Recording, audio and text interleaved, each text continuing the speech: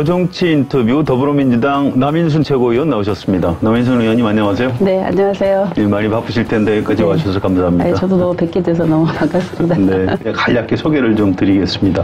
서울 송파병 지역구 재선 국회의원이시고요. 지금 더불어민주당 어, 최고위원 맡고 계시죠. 어, 정치를 하시기 전에는 여성단체연합 상임대표 비롯해서 어, 시민운동을 오랫동안 하셨습니다. 처음에 비례대표 사냥하시고 그다음에 네. 지역 에서 일단 안착에 성공하신 그런 네. 경우죠. 예. 알겠습니다. 오늘 국회 본회의가 있었는데요. 네. 중요한 법안 통과된 게 있습니까? 예, 오늘은 뭐 가장 또 국민들이 어, 법이 통과되는지를 기대했던 것 중에 하나가 윤창호 법인데요. 아, 네, 음주운전. 네, 네. 그래서 이제 음주운전으로 인해서 어, 사망에 이르게 하는 경우에는 어쨌든 형량 하한을 원래는 5년 해달라는 청원이 있었죠. 근데 이제 이번에 어, 법사에서 통과될 때는 3년 하한으로 해서 3년 이하로는 어, 저기 그 어쨌든 3년 이하로는 안 내려가도록. 아, 그럼 예. 3년 이상 예, 3년 징역형에 이상 예, 처하는 징역, 징역형에 처하도록 그렇게 오늘 어, 법이 통과됐군요. 통과됐습니다. 더불어민주당의 민생 연석회의가 네. 뭐 어떤 일을 하는 기구인지 우선 설명을 좀 해주시죠.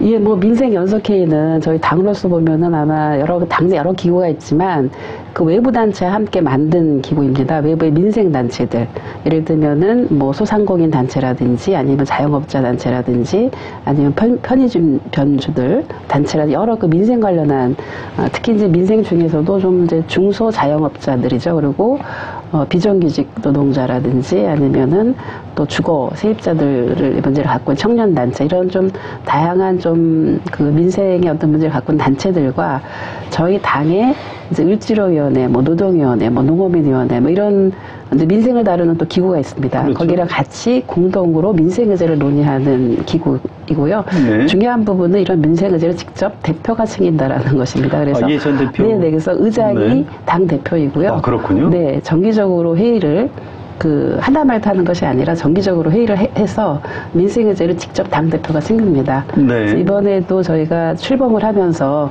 어, 다섯 개 민생 의제를 선정을 했고 첫 번째 의제가 카드 수수료에 대한 이제 그 개편이었는데요.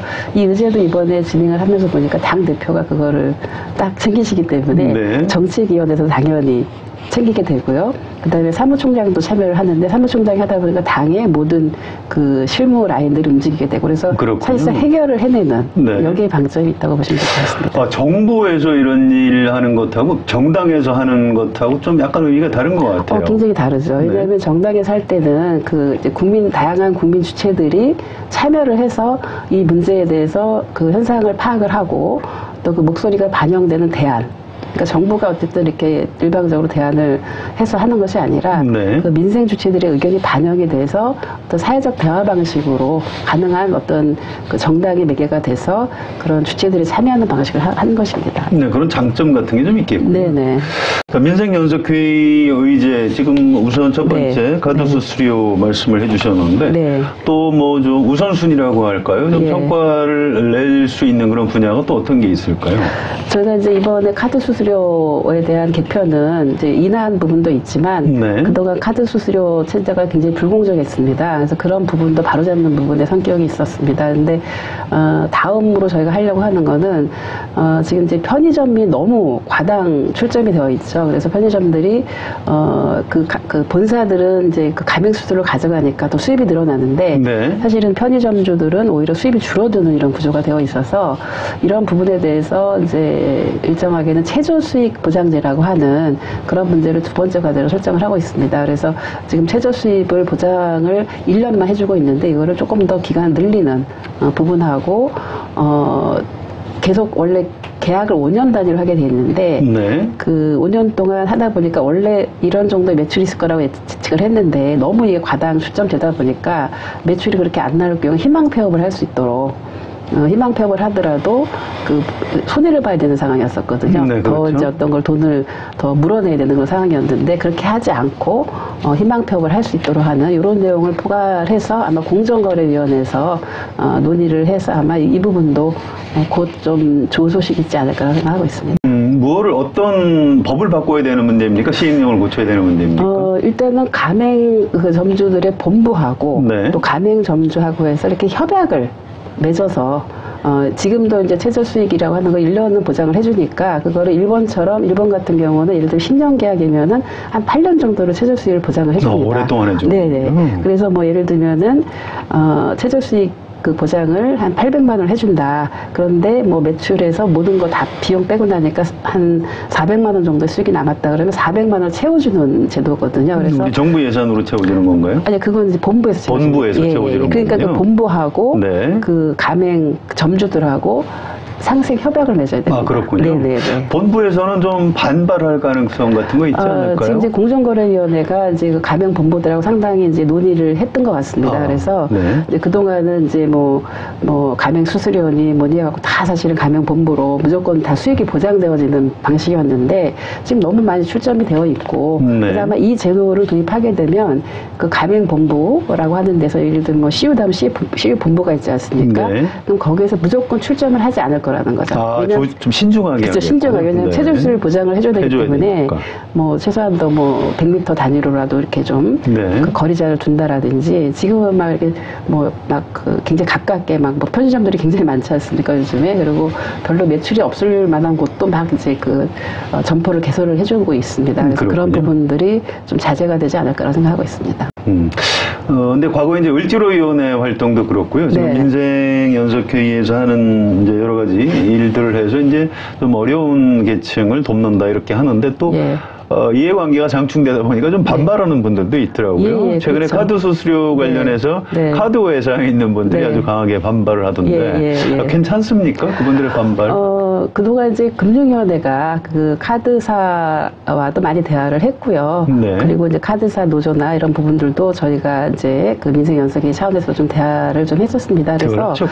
어, 그렇죠. 사전 대화를 여러 번 했고요. 그래서 전체 이제 그 카드사에 들어오는 수익 구조를 분석을 해봤었습니다. 그런데 보니까 문제가 그 마케팅 비용이라는 게 있습니다. 뭐 예를 들면은 카드 수수료 어, 그 받는 그 수익에서 여러 가지 이제 뭐 그 이자를 무이자를 해준다라든지 네, 할부를 그냥 예, 할부를 뭐 무이자 이자 안 할부를 해준다라든지. 네. 아니면 어디 뭐 이렇게 그 차를 샀을 때 뭐 얼마를 깎아준다라든지 여러 가지 왜 주는 혜택이 있는데 네. 사실 그 혜택의 대부분이 큰 가맹점주들한테 그러니까 예를 들면 뭐 이마트라든지 홈플러스라든지 큰데 많이 혜택이 되어졌고 사실 수수료를 걸어 들어가는 거는 5억 이상의 그 가맹점주들한테 다 무조건 2% 이상 받았거든요. 네. 그러니까 거기서 받아서 그 마케팅 비용을 더 큰 기업한테 쓰게 되는 이런 불공정한 구조가 있었습니다. 그래서 네, 그거를 바로 잡는 그렇군요. 것이었기 때문에 음.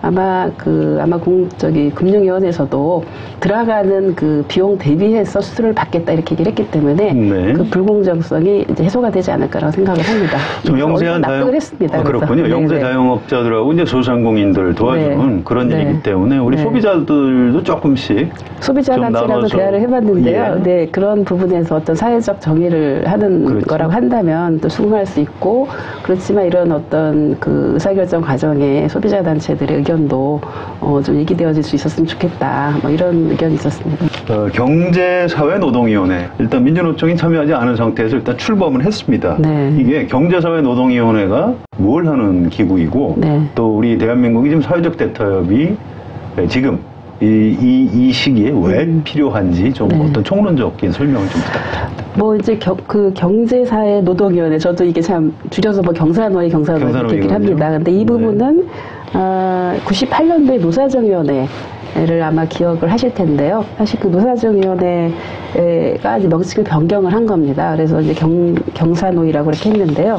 이제 왜냐하면은 사실 고용노동정책이라고 하는 것이 여러 어떤 사회복지 정책이라든지 산업정책이라든지 이런 거랑 다 연관이 있거든요. 그래서 이거를 그냥 그 노동정책으로만 다루는 것이 아니라 다른 제방정책과 함께 다뤄서 어, 거기에 대한 어떤 그 각각의 경제 주체들 간의 어떤 사회적 대화를 한다라는 부분이 의미가 크고요. 그리고 또 하나의 그 위원회 역할은 어, 또 정부에 대한 또 대통령에 대한 자문을 하도록 돼 있습니다. 음, 아, 이렇게- 그렇군요. 예, 예. 그 정책 두 가지? 기능이 있습니다. 네. 대통령 자문도 겸을, 겸하고 있고요. 이제 크게 보면은 이제 그 네 가지 의제를 보시면 아마 이 위원회가 무엇을 하는 것인가가 알 수가 있는데요. 네, 설명해 주시죠. 네개 이주별 위원회가 있는데요. 그 사회 안전망 개선위원회가 있습니다. 그리고 그 안전하고 건강한 일터를 위한 그 산업 안전 보건위원회가 있고요. 그 다음에 디지털 전환과 노동의 미래위원회 제도위원회 가 있습니다. 그리고 노사관계 제도 간행 개선위원회 이렇게 되어 있습니다. 그래서 어, 이 경사노위는 어, 한국형 그 대화 모델 이 되지 않을까라고 생각을 하고 있는데요. 이제 이것이 필요한 부분은 이제 뭐 20년 전과 비교해봐도 그때도 물론 IMF라고 하는 그런 위기 상황이었고 지금은 어, 우리 사회의 어떤 양극화라고 하는 것이 이 소득의 양극화나 아니면은 뭐 이런 어떤 부분이 굉장히 극심하지 않습니까? 그렇죠. 그런 양극화 문제를 해결하는 것이 이제 사회적 그 과제라고 생각을 합니다. 근데 그런 문제를 해결하기 위해서는 어쨌든 경제 주체들 간에 아, 그런 어떤 사회적 대화가 필요하고 그런 점에서 2018년이라고 하는 현 상황에서 굉장히 필요한 기구가 아닌가라고 생각을 하고 있습니다. 지금 뭐 걱정들을 참 많이 합니다. 어, 일단 전망이라고 할까요? 네. 어, 이게 경사노예가 좀 성공을 하기 위해서 어, 각 주체들이 좀 어떤 노력을 좀 기울여야 될까요? 음, 이게 이제 사회적 대화이기 때문에요. 네. 일차적으로는 각각의 입장에 대한 거를 잘 소통을 해야 되겠죠. 그렇죠. 예, 그래서 소통이 굉장히 중요하고 수기가 굉장히 중요하다고 생각을 합니다. 그래서 어, 그렇지만 각각의 또 주체들이 원하는 것만큼 다 100% 관철은 되지 않기 때문에 어느 정도의 어, 양보와 타협이 필요하다고 저는 생각을 합니다. 그런 부분에서 또 정부도 한 주체이기 때문에 네. 정부가 할 수 있는 여러 가지 각각의 경제 주체들이 어, 나 아니면은 또 우리 사회 어떤 사회적 그 소외되는 그런 계층들이 참여했을 때 어, 정부 정책으로서 그 지원할 수 있는 부분들이 어, 확실하게 제시가 되어야만이 이 각각의 주체들에서 이렇게 갈등되어지고 이런 부분들을 이렇게 풀어낼 수 있는 그러니까 조정이라고 하는 것이 아무것도 없이 말로만 되는 건 아니지 않습니까? 그렇죠. 거기에 대한 여러 가지 어떤 뭐 지원 그것이 사회 안전망에 대한 지원이든지 네. 아니면은 어떤 일자리에 대한 지원이든지 여러 가지 부분들이 정부가 적정인 정책을 통해서 정부의 역할이 커진다고 생각합니다. 이제 그런 방식으로 어, 하나씩 하나씩 어, 해결을 해나가야 되지 않을까라고 생각을 합니다. 어차피 법과 제도에 관한 거는 이제 정부 네, 또 그렇죠. 국회에서 입법 이런 걸로 뒷받침을 해줘야 될 것 같은데요. 네. 어, 경제계하고 노동계는 좀 어, 이해 충돌이 있을 수 있을 것 같거든요. 네. 실제로 지금 우리 경제계에서 이 사회적 대타협에 대해서 어떤 태도를 취하고 있다고 보십니까? 뭐 경제계도요. 지금 이제 여기 참여를 하고 있고 굉장히 이제 어쨌든 이 기구에 거는 기대는 저는 지금은 있다고 생각을 합니다. 그래서 어 지금 전체적으로 경제 사- 상황이라고 하는 것이 또 외부적인 요인도 있고 뭐 한국이 저성장이라고 하는 그 상황에 들어섰기 때문에 그런 속에서 어쨌든 그런 그 기조를 유지하는 것이 굉장히 중요하고 아마 기업 측에서도 어 어떤 그 근로자들에 대한 복지 문제라든지 이런 건 다 기업 복지로만 할 수가 없는 부분이기 때문에 그렇죠. 네. 어쨌든 사회에서의 어떤 그런 안전망 이런 부분들을 이렇게 여러 그 형태로 두텁게 해나가는 부분이 필요하기 때문에 그런 점에서도 아마 기업을 하기 위해서도 어, 기업 유지를 해- 하기 위해서도 이 기구는 필요하지 않을까라고 생각합니다. 일단 한국노총은 여기 들어와. 네네. 어, 노동계에서는 또 요구하는 것들이 있지 않습니까? 네. 그 그런 것들 조정이 가능할까요? 어떻게 보십니까? 예, 뭐 저는 지금 이제 그 분야별 논의 구조에서는 여기 이제 이번에 저희가 그 국민연금 개편과 관련해서 어 경사노위에서 논의를 하기로 했는데 그 논의하는 구조에는 지금 민주노총이 들어와 있습니다. 그래서 그 지난번에 어 여기 참여하는 경제 주체들이 민주노총에 참여를 공고하는 그런 입장도 내기도 했는데요. 뭐 제가 생각했을 때는 이제 그 참여라고 하는 부분은 어쨌든 참여할 수 있는 그런 여러 가지 그 여건을 조성을 해줘야 되는 거 아닙니까? 그렇죠. 근데 이제 그런 네. 부분에서 어, 민주노총이 제기하는 그런 문제들이 지금 있습니다. 이제 그런 부분에 대해서 어, 좀 더더 여러 가지 좀 사전적인 대화. 아, 와 소통을 좀 더 해야 된다고 생각을 합니다. 네. 그런 부분이 있고 우선은 지금 물꼬가 트일 수 있는 것이 그 탄력 근로제에 대해서 탄력 강하게 근로제. 문제 제기를 했죠. 근데 그렇습니다. 탄력 근로제 문제를 경사노위에서 논의를 하겠다라고 일단 어, 정부나 저희 당도 입장을 이제 밝혔기 때문에 뭐 이 부분에 대해서는 그냥 밀고 그냥 밀어붙이는 것이 아니라 그 대화를 통해서 하겠다라고 입장을 이제 저희가 밝혔죠. 그래서 이후에 좀 경사노위를 통해서 어, 민주노총의 참여를 좀 어, 할 수 있는 그런 좀 계기가 되지 않을까. 그리고 저희도 지금 당 대표님도 뭐라고 얘기를 하셨냐면 어, 이제 의원들이 이제 여러 가지 그동안 이제 그 활동을 하면서 또 민주노총과 대화할 수 있는 여러 개인적인 관계들도 있고 여러 가지 다각적인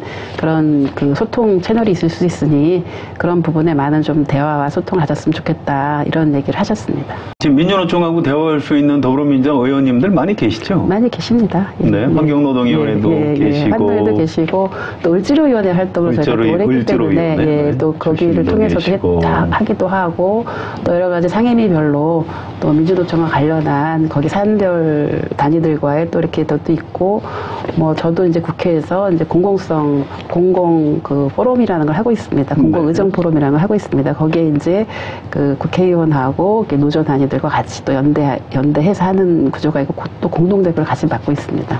문재인 정부에서 이걸 못 해내면 다른 어느 정부도 못 해낼 것 같다는 생각이 좀 듭니다. 네, 저희가 좀 인내를 갖고 예. 예, 소통을 좀 더더 많이 노력을 저는 해야 된다고 생각합니다. 네, 언론 쪽에서는 일부 네. 좀, 네. 어, 좀 뭐라 그럴까요? 좀 너무 좀 어, 경제계 편만 든다고 할까요? 네. 어, 민주노총에 대해서 좀 막 적대감 같은 걸 드러내는 그런 네. 시선도 있는데 아, 그런 언론 쪽. 예, 네. 언론 쪽에서도 좀 어, 어떤 뭐 긍정적인 시각 같은 게 좀 필요하다. 저는 그렇게 생각하는데요. 네, 예. 어떻게 보십니까? 아, 뭐 저도 왜냐하면 언론이라는 것이 어쨌든 소통의 그 중요한 역할을 하지 않습니까? 국민들과의 소통의 역할을 해주시는 거고 또 이런 어떤 사회적 대화라고 하는 부분이 성공하기 위해서는 국민들의 관심이 네. 정말 필요하고 또 앞으로 어쨌든 대한민국의 어떤 미래가 달린 문제라고 저는 생각을 하기 때문에 그런 점에서 또 언론의 역할은 너무나 중요하다고 생각을 합니다. 그리고 네. 뭐 이게 이제 경사노위에서도 하지만 또 언론에서도 이런 어떤 이 주체들이 같이 참여하는 그런 어, 대화를 그렇죠. 할수 대화, 있는 예, 그런 여러 가지 예, 마련해. 주시면은 예. 훨씬 더 예, 좋을 것 같습니다. 알겠습니다. 노무현 정부 때는 노동계하고 좀 일부 사이가 안 좋았는데 네. 에, 지금은 어떻습니까? 민노총 내부 분위기 혹시 좀 아시는 바가 있나요? 어, 글쎄요, 뭐, 내부 분위기를 제가 다 정확하게 알 수는 없을 것 같고요. 지금 이제 그, 어, 여러 가지 어쨌든 지금 정부 정책이나 이런 부분에 있어서, 어, 뭐, 최저임금 산입 범위 네. 이 문제라든지 아니면 탄력근로 문제라든지 이런 과정에서 아마 제가 봤을 때는 물론 대화를 물론 하긴 했는데 이게 좀 그런 부분들의 그 수렴과 이런 부분들 좀 부족했던 것은 저는 사실이라고 생각합니다. 그런 노력을 앞으로 더 기울일 것이고요. 아. 아마 이제 민주노총 내부도 또 이런 사회적 대화가 중요하다고 생각하는 입장과 또 아니면 좀 덜 중요하다고 생각하는 입장과 좀 다양하지 않겠습니까? 그래서 그렇죠. 그럼 지금 지도부는 좀 사회적 대화가 굉장히 중요하다고 생각하고 그걸 내걸고 나오신 분들이시기 때문에 어, 지금 지도부와 그런 것을 좀 성사시키는 것이 굉장히 중요하다고 생각을 하고 있습니다. 네. 그러기 위해서는 좀 더 많은 소통과 좀 신뢰를 쌓을 수 있게끔 저희가 아, 최선을 다해야 되지 않을까 생각합니다. 어, 국회에서 중요한 현안 중에 하나가 선거제도 개편입니다. 네. 그런데 어, 더불어민주당 에서 지금 이 문제를 갖고 혹시 의원총회나 뭐 당론을 결정하기 위한 절차를 밟은 적이 있었나요? 뭐 아직은 거, 거기까지 가고 있지는 않고요. 뭐 의총에서는 지금 이제 정기특위에서 논의되고 있는 걸 보고받는 수준이었고요. 뭐 거기에서 의원들의 여러 가지 뭐 이렇게 좀 궁금한 거 질의하는 정도였고 저기 저희 당에서는 어, 지금 윤호중 사무총장이 어, TFT 어, 위원장을 맡아서 네. 어, 당의 어떤 의견들을 좀 수렴하고 좀 입장을 좀 정리해 나가는 이런 역할을 맡아서 지금 논의를 어, 하고 있습니다. 그래서 오늘도 아마 사무총장 입장을 밝히신 것 같고요. 아, 기자간담회를 예, 예, 예. 그래서 그런 예. 과정을 지금 밟고 있습니다. 네. 바른 미래당, 민주평화당, 정의당 네. 이쪽에서는 아니 민주당이 연동형 번역별 비례대표제 네. 한다고 그래서 네. 어, 참 어, 좋아했는데 네. 어, 그걸 뭐 좀 후퇴하는 것처럼 네. 어, 보인다고 해서 이제 로텐도 그래서 막 어, 항의 네. 기자회견도 하고 지금 네. 그러고 있거든요. 예, 예. 뭐 그분들하고 혹시 뭐 대화를 나눠 보신 적이 있나요? 제3당. 아니, 뭐, 저희는 뭐 개별적으로 많이 대화 나눠요. 뭐라고 그러시던가요? 그렇죠, 의원님들이. 어, 아니, 그러니까 이제 뭐, 그, 우선은 우리 당의 어떤 의견이 좀 논의가 됐으면 좋겠다. 네. 정리가 됐으면 좋겠다. 뭐 이런 얘기를 많이 표명을 하시는 부분이 있고요. 뭐, 그러기도 하지만 또 이제, 물론 야당은 또 야3당은 좀 의견이 이제 된 것 같고, 네, 그다음에 또 그렇죠. 자유한국당은 또, 또 다르죠. 어제 또 의견을 또 뭐 다른 얘기를 또 하- 했고, 굉장히 또 그렇습니다. 야당이 어쨌든 의견이 좀 다 다른 상황이기 때문에, 예. 그런 상황에서 뭐 저희가 지금 저희 내부적으로도 논의를 좀 해야 되는 부분이 있는 것 같고요. 그리고 또 뭔가 뭔가 그 저희가 그동안 취해왔던 뭐 선거 시기마다 취해왔던 어떤 뭐 여러 가지 공약이라든가 이런 부분에 대, 대한 이해도 좀 다 다르더라고요. 얘기를 하다 어, 보니까. 있겠군요. 네, 네. 그래서 네. 저희 그래서 그런 부분들이 과연 좀 뭐냐 우리가 그런 그런 거를 각각 어떤 공약 단계에서 얘기했던 거와 저희가 당에서 의원들 개별적으로 낸 법안이 있습니다. 뭐 그런 것은 있을 수 있지만 저희가 지금 이 시기에 어, 정기특위를 앞두고 저희 당의 어떤 의견을 지금 딱 이렇게 모, 어, 모아져 있는 이제 그런 상황은 아직은 아닙니다. 아직은 아니고. 네, 네. 2015년 2월 달에 중앙선거관리위원회에서 어, 권역별 비례대표제, 그게 네. 이제 사실상 이제 연동형, 근데 네. 권역별로 어, 정당 득표율과 의석수를 네. 일치시키는 거죠. 네, 그런 네. 안을 냈고, 어, 제 기억에 그때 더불어, 어, 그때 아, 당 이름이 달랐네요. 네, 그때 네. 새정치민주연합 네. 의원님들이 상당히 압도적으로 네. 중앙선관위 아니고 옳은 제도다 이렇게 네. 했던 걸로 기억을 합니다. 예, 예, 예. 어, 남 의원님 개인적으로는 어떤 제도가 좀 어, 지금 현실적으로 채택 가능하고 그러니까 저는 우선은 네. 어 저도 이제 비례대표로 들어왔던 사람이기 때문에요. 네. 어 지금 이제 그 우선 비례대표라고 하는 거를 전체적으로 늘리는 게 저는 먼저 중요하다고 생각했습니다. 그때 당시 선관위도 그 지역을 대표하는 부분과 지역구라고 하는 것과 비례를 한 2대1 정도 해야 되지 않느냐라는 얘기를 했거든요. 저는 비례 의석이 그 정도 비율은 돼야 된다라고 제가 비례대표를 했던 입장에서 어 그거에 굉장히 공감을 했고요. 어 근데 그렇지만 이제 그 2대1로 하는 건 하지만 의원 정수를 어떻게 할 것이냐라는 것은 어쨌든 국민적인 또 동의가 있어야 되고 각 정당 간에 또 이런 이해관계가 있기 때문에 어 그런 점에서 그거는 뭐 더 논의를 하더라도 어쨌든 지역구와 비례를 뭐 독일은 1대1로 하지만 우리가 그게 급격하게 가기가 쉽지 않으니까 아, 우리는 거의 83%가 지역구인가 그렇거든요. 정치 그렇습니다. 의석수 중에서 그래서 이거를 그래도 한 2대1 정도는 맞췄으면 좋겠다. 이게 이제 저는 기본적 입장입니다. 그래서 그럴 경우에 그러면 한그 1이라고 하는 퍼센테이지, 그러니까 그 2대 2, 2는 지역구인 거고 그러면 그거를 어떻게 비례대표를 선출할 것이냐 방법은 그 다음 얘기인 것 같아요. 그 다음 얘기죠. 근데 지금 사실은 2대1 얘기는 없어지고 네. 그게 중요하지 않습니까? 근데 그 얘기는 없어지고 지금 비례석 뭐 지금 어뭐 10, 10, 몇 프로 17%밖에 안 되는 비례 의석을 갖고 뭐뭐 연동형이냐 아니냐 막 이러고 연동형을 100%를 할 거냐 아니면 부분적으로 할 거냐 뭐 이런 논의가 되고 있어서 저는 이 논의가 좀 잘못된 것 같아요. 먼저 비례석을. 네. 지역구하고 비례를 어떻게 할 거냐. 선관위가 네. 그걸 얘기한 거거든요. 네. 그런 다음에 그 전제 하에서 권역별로 하면서 권역별로 비례 명부를 작성하는 얘기를 한 거고 그거와 이제 그 정당의 어떤 득표율과 의석 을 이제 그 일치시키는 이렇게 가자라고 하는 얘기를 한 거기 때문에 이 전제가 먼저 저는 얘기가 돼야 되지 않나. 일단 제 입장은 사실 그렇습니다. 음, 그래서. 네. 그것이 아직 얘기가 안 된 상황에서 이거 얘기를 하게 되면 사실 민주당 내에서도 굉장히 얘기하기가 좀 갑갑한 구조가 좀 됩니다. 왜냐하면 이, 이 조정이 어, 지역과 비례에 대한 어떤 이 비율 조정이 안 된 상황에서 현재 구조에서 그냥 연동형 하자라고 해- 해버리면 어, 사실 굉장히 좀 이렇게 제한적인 논의가 될 수밖에 없다고 봅니다. 어, 지금 민주당이 과거에 야당 시절에 연동 형 비례대표를 해서 정치를 개혁하자 이런 태도였는데 지금 어, 정당 지지도가 많이 높다 보니까 이 성자 독식 체제의 어떤 최대 수혜자가 되다 보니까 입장을 지금 좀 뭔가 바꾸고 있는 것 아니냐 이런 네. 약간 우려 내지 의심 같은 시각이 있거든요. 아니 그거는 저희 당에서는 분명히 얘기를 했습니다. 저희가 그 소위 이제 비례성, 네. 비례성을 계속 높이고 대표성을 강화한다. 이것에 대해서는 이제 동의를 합니다. 음. 그래서 근데 그 비례성이라 하는 것이 그 기준점이 뭐냐? 네. 그러니까 현재처럼 그 지역구하고 비례가 이렇게 불균형하게, 그러니까 뭐 83대 17인가요? 어쨌든 그 구조에서의 그 기준 기준선이라고 하는 게 그 비례를 뽑기 위한 어떤 그 정당 득표율이 기, 기준점이냐, 아니면은 그 지역구에서 받은 그 의석 의 어떤 그 정당 그 정당의 지지율도 있는 거 아니야. 그러니까 이걸 다 합산한 것이냐, 이걸 기준 어떤 것이 기준점이냐도 굉장히 또 논의하면 구체적으로 들어가면 좀 복잡하죠. 다릅니다. 네, 근데 일단 예, 예. 중앙선관위에서 제안했던 안이 있고요. 문재인 예. 대통령도 그 안을 기초로 얘기를 해야 된다 이렇게 네, 했기 네, 때문에 네, 네. 일단 정당 득표율을 기준으로 의석을 할당하는 것이 일단 중앙선관위 제안이고요. 네, 네, 네. 일단 민주당에서도 이제 그 안이 가장 설득력이 있다 이렇게 의원님들도 얘기를 많이 하시는 것 같아요. 근데 이제 저희 디테일하게 들어가 보니까 이제 그런 차이들이 차이들이 있다라는 거죠. 왜냐하면 이제 그- 그렇죠. 차이가 예, 그런. 부분이 네. 있어서 뭐 그러면은 뭐 피- 저기 민주당이 얻은 그 정당대로 뭐 그러면 과잉 대표됐다 이렇게 이제 볼 수가 있는 것이고요. 네. 뭐그 당시 그러니까 어떤 이 이 그 지역구 의원을 뽑는 거와 정당에 대한 투표하는 부분이 약간 전략적 선택을 하는 이제 이런 상황 속에서는. 그거를 좀 예, 그. 부분도 약간 예. 아, 그래서 어, 그것이 다 그럼 정당 지지를 반영한 득표율이냐라고 하는 이제 이런 이제 반론이 좀 있는 거고요. 그리고 대표성 부분에 있어서도 이제 그 지역 대표성과 국민 대표성에 대해서도 좀 이제 그 인식의 차이들이 좀 있더라고요. 그래서 네.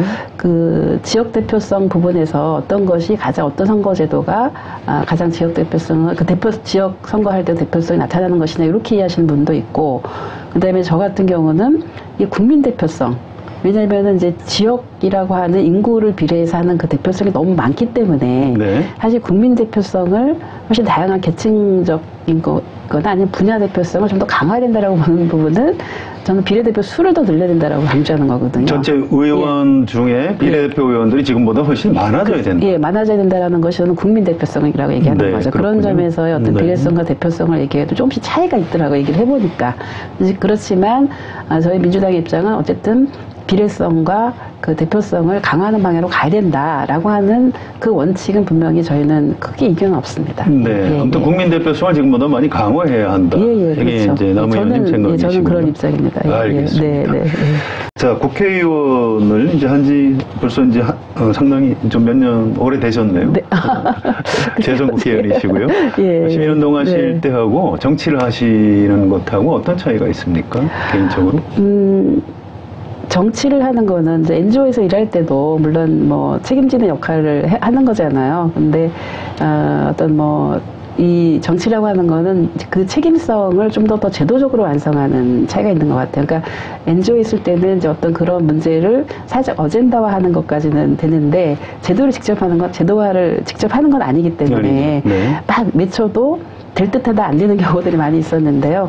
어, 정치라고 하는 거는 그 책임성을 제도로 완성할 수 있는 어, 좀 더 높은 책임성을 가질 수 있다라고 하는 부분의 차이가 분명히 있는 것 같습니다. 음, 정치를 시작하신 다음에 아, 내가 참 정치하기 참 잘했다. 이렇게 보람 네. 같은 걸 느끼신 순간 있으면 소개를 좀 해주시죠. 뭐 여러 순간들이 좀 있었는데요. 그러니까 우선은 제가 이제 제기했던 어떤 그 법이 어, 통과가 돼서 그것을 누리는 어떤 시민들이 많아졌을 때 이제 아 이런 것이 바로 정치 힘이구나 네, 이런 거를 느끼고요. 뭐 예를 들면 제가 이제 그 19대 때 그 요즘은 이제 약봉투에 그 약에 이렇게 그 여러 가지 이렇게 성분들을 다 표시해 주잖아요. 네, 좀 해주죠. 예, 근데 그게 그전에는 그런 제도가 없었거든요. 근데 그거를 성분을 그 일반 환자들이 알 수 있도록 그 알 권리 차원에서 그걸 표시하도록 하는 제도를 어, 제가 만들었습니다. 그래서 어, 그런 복약 지도를 반드시 받도록 네. 이렇게 가면 약사님들이 설명해 주잖아요.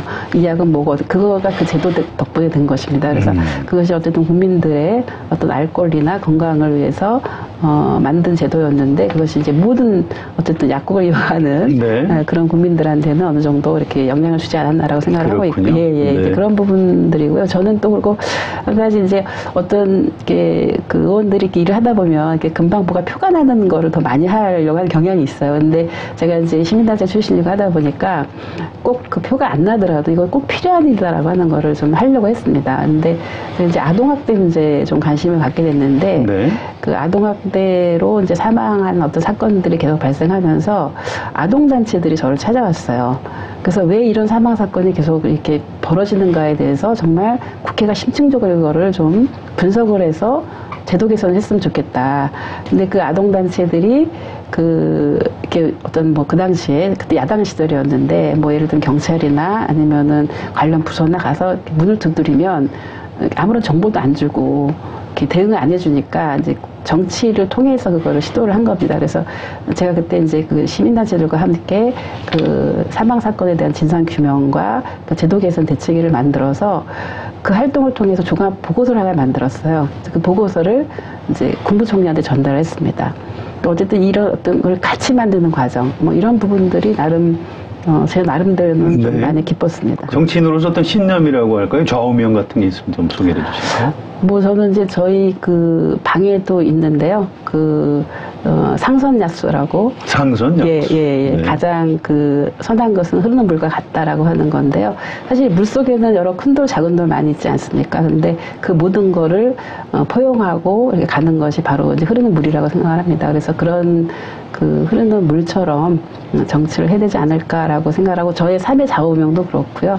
어떤 정치하는 어떤 그 뭐라 그럴까 저의 관점 태도 뭐 이런 부분들도 그렇게 하려고 하고 있습니다. 어, 더불어민주당 최고위원, 집권여당 네. 최고위원으로서 예. 저희 우리 저 국민께 네. 또 한겨레 TV 시청자들께 마무리 인사 말씀 좀 부탁드리겠습니다. 예, 저는 이제 최고위원으로서 또 국회 보건복지위원회 상임위원으로서 어, 무엇보다도 우리 국민의 민생의 문제 그리고 어, 복지와 보건의 문제 해결을 위해서 최선을 다하고자 합니다.